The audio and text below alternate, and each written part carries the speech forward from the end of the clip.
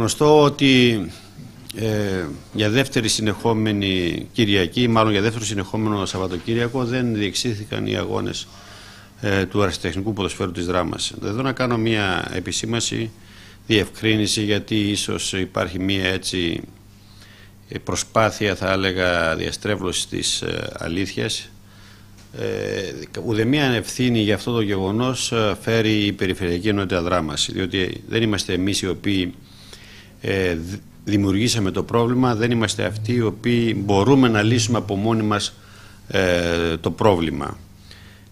Το πρόβλημα έχει ως εξής. Δεν υπάρχουν άδειες καταλληλότητας των γηπέδων. Τις άδειες τις άδειες λειτουργίας τις δίνει η αποκεντρωμένη διοίκηση, ο Γενικός Δραματέας, ο κύριος ε, Καρούτζος.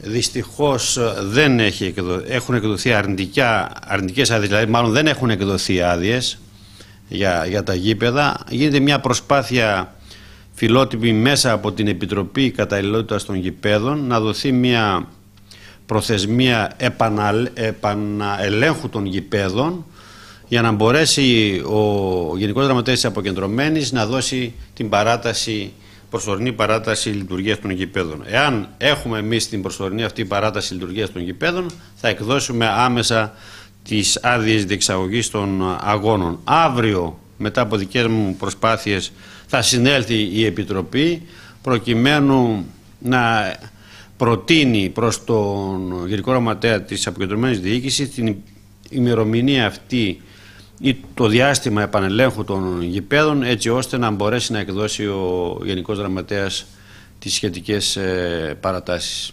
Δύο ερωτήματα πάνω σε αυτό. Από ποιο γίνεται η προσπάθεια διαστρέβλωσης της αλήθειας και πού θα συνεδριάσει αυτή η Επιτροπή; Εντάξει, δεν ξέρω συγκεκριμένα, αλλά μου με παίρνουν τηλέφωνα με ένα άνθρωποι οι οποίοι ασχολούνται με το ποδόσφαιρο και εκφράζουν την απορία τους ή το παράπονο τους πώς ένας άνθρωπος του ποδοσφαίρου, γιατί είναι γνωστό ότι εγώ υπηρέτησα τα γήπεδα του αριστεχνικού ποδοσφαίρου για 30 χρόνια ως ποδοσφαιριστής, δεν επιλύει το συγκεκριμένο πρόβλημα.